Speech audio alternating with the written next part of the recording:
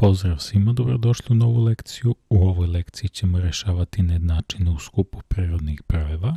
Prva nejednačina pod A imamo situaciju da nam je nepoznat prvi sabirak. Kako rešavamo nejednačinu kada nam je nepoznat sabirak? Pa rešavamo tako što od zbira koji je 156 oduzmemo poznati sabirak, to je 72.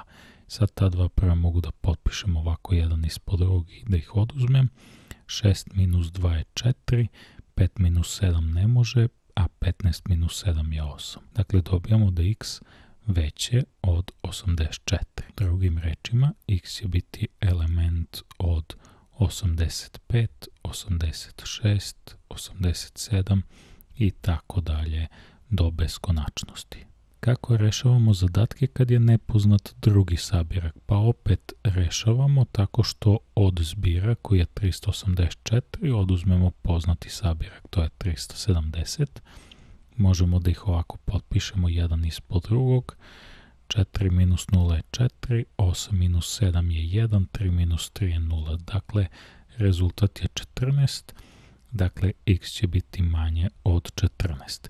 Sad vi možete da ovako rešenje, x element 14, 13, 12 i tako dalje, ali ovo je odgovor koji, da kažemo, zahteva malo razmišljanja, jer mi možemo, ako ovako krenemo beskonačno mnogo da nabrajamo ovih brojeva, možemo da odemo i ispod nule, to jest možemo da ubacujemo i negativne brojeve, a ne bismo mogli da koristimo negativne brojeve pošto radimo u skupu prerodnih brojeva. Tako dakle da osim što je ovo rešenje manje od 14, takođe će x morati da bude veće od nule ako radimo u skupu prirodnih brojeva ili veći ili jednako od nule ako radimo u proširenom skupu prirodnih brojeva. Dakle, x će biti element, ajmo da kažemo da radimo u skupu prirodnih brojeva, dakle 1, 2, i tako dalje pa do 14. Sljedeći zadatak koji imamo da nam je nepoznat umanjenik, dakle nejednačinu rešavamo tako što sabiramo umanjilac i razliku, dakle umanjilac je 35 i razlika je 52, dakle x će biti veći ili jednako, 5 plus 2 je 7, 3 plus 5 8, x će biti veći ili jednako od 87. Šta nam znači ovaj znak veći ili jednako ili može da se javi znak manji ili jednako? Znači da možemo da uključimo u skup rešenja, odnosno moramo da uključimo u skup rešenja ovaj broj koji smo dobili. Taj granični broj, dakle morat ćemo u naš skup da ubacimo i broj 87 i sve one koji su veći od njega, dakle 87, 88, 89 i tako dalje. Sljedeći zadatak ovde koji imamo da nam je nepoznat umanjilac. Umanjilac dobijamo tako što od umanjenika oduzmemo razliku. Dakle, imat ćemo ovde 795 minus 532. Ali moramo da vodimo računa što se tiče nejednačina u vezi sa sabiranjem i oduzimanjem, samo u ovom slučaju, dakle kada je nepoznat umanjilac, prilikom rešavanja nejednačine morat ćemo da okrenemo ovaj znak nejednakosti. Dakle, ovde je bilo strogo manje, mi ćemo obrnuti taj znak i to će biti strogo veće. Dakle, samo u jednačinama, nejednačinama ovog tipa, kada je nepoznat umanjilac, mora da se obrne znak. x će biti veće od 5 minus 2 je 3, 9 minus 3 je 6, 7 minus 5 je 2 dakle x će morati bude veće od 263, odnosno x će, će prepadati skup 264, 265 i tako dalje. U drugom zadatku imamo nejednačine u vezi sa množenjem i deljenjem. Ovde nam je u drugom zadatku podan nepoznat prvi činilac, njega dobijemo tako što proizvod podelimo sa poznatim činiocem. Dakle, x će biti veće od 35 podeljeno sa 7, odnosno x će biti veće 35 podeljeno sa 7, to je 5. Koji su sada brojevi rešenje naše nejednačine, pa svi oni koji su veći od 5, dakle 6, 7, 8 i tako dalje. Pod B slična situacija, imamo da je 9 puta x manji ili jednak od 540, Nepoznat je drugi činilac, njega dobijemo kada proizvod koji je 540 podelimo sa poznatim činiocem, dakle x će biti manje ili jednako 54 podeljeno sa 9 je 6, 9 puta 6 54 i 0 podeljeno sa 9 je 0. To smo mogli da uradimo i ovako sa strana kome je lakše. Dakle, 54 podeljeno sa 9 je 6, 6 puta 9 54, ostane 0, spustimo ovu 0, 0 podeljeno sa 9 je 0, 0 puta 9 je 0. Sad ovde imamo skup rešenja, da su svi prvi koji su manje od 60, mada može da bude jednak 60 i moramo da pazimo da x mora da bude veće od 0 ako radimo sa skupom prirodnih brojeva.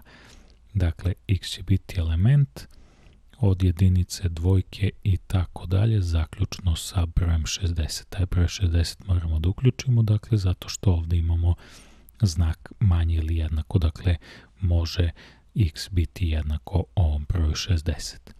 Sad ovde imamo nepoznat deljenik, njega ćemo dobiti tako što pomnožimo delilac i količnik, dakle x će biti manje od 10 puta 6, x će biti manje od 60.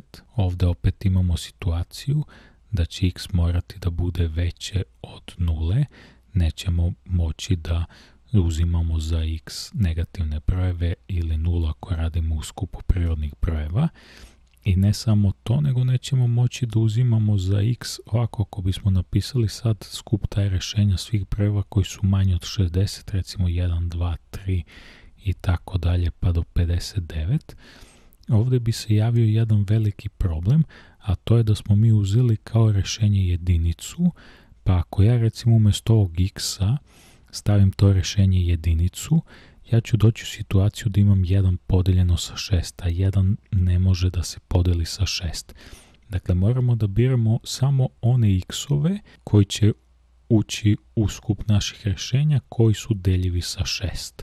Dakle, koji su to sve brojevi koji su veći od 0, a manje od 60, koji su deljivi sa 6. Dakle, prvi takav broj je šestica, šestica je deljiva sa 6.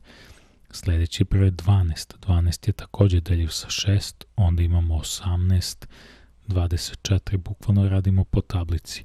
Množenje 6 puta 1 je 6, 6 puta 2 12, 6 puta 3 18 i tako dalje. Dakle, posljednji bi bio 6 puta 9 da je jednako 54, znači taj posljednji bi bio 54, a ne možemo da ubacimo desetku, jer je 6 puta 10 60, a u zadatku nam stoji da x mora da bude manje od 60. I ovo je skup naših rešenja i imamo ovde poslednji zadatak kada je nepoznat delilac. Kada je nepoznat delilac, njega dobijamo tako što deljenik podelimo sa količnikom, pri čemu ovde morate da pazite da je u, kod nejednačina u vezi sa množenjem i deljenjem, ovo jedini slučaj kad se obraća znak. Dakle, ovaj znak mora se obrne jedino kada je nepoznat delilac. Ovde je nepoznat delilac, znak je bio strogo veće, znači moramo da ga obrnemo da bude strogo manje. x će biti manje od 640 podeljeno sa 80, to je 8, jer bukvalno kada imamo 640 podeljeno sa 80, možemo da ih uprostimo tako što im skinemo po jednu nulu i bukvalno 64 delimo sa 8, a to će biti 8 jer je 8 puta 8 64. Dakle, x će biti manje od 8 i sada dakle opet moramo da pazimo, x mora da bude veće od 0 i recimo šta bi se desilo ako ubacimo u skup ovih rešenja 1, 2, 3, 4, 5, 6, 7, 8, dobilo bi se to da postoji mogućnost nekad da taj broj ovde koji stavljamo umesto x-a ne bude mogao da podeli broj 640. Recimo ako uzmemo broj 3 i probamo da u ovu našu polaznu nejednačinu stavimo umesto x-a broj 3, ispostavit će se da ne možemo sa brojem 3 da podelimo broj 640 bez ostatka, nego ćemo imati neki ostatak, najverovatnije će biti ostatak 1, znači nećemo moći u skup naših rešenja da ubacujemo one brojeve koji pri deljenju sa 640 daju ostatak. Međutim, ajde da kažemo 640 kad podelimo sa 1, to može da se podeli, dakle uzimat ćemo da je jedan rešenje, pa možemo 640 da podelimo sa 2, to je recimo 320, možemo i dvojku da uzmemo kao rešenje. Sa 3 ne bi moglo se podeli, sa 4 bi moglo da se podeli, 640 može da se podeli sa 4 bez ostatka, moglo bi da se podeli sa 5, pošto prvo je deljiv sa 5 kada se završava sa nulom, 640 se završava sa nulom, sa šesticom neće biti deljiv, sa sedmicom takođe neće biti deljiv i sa osmicom će biti deljiv, dakle u skup ovih rešenja stavljamo i osmicu. I time smo rešili ovaj zadatak. To je to što se tiče ove lekcije, vidimo se u narednoj lekciji, pozdrav i sve najbolje.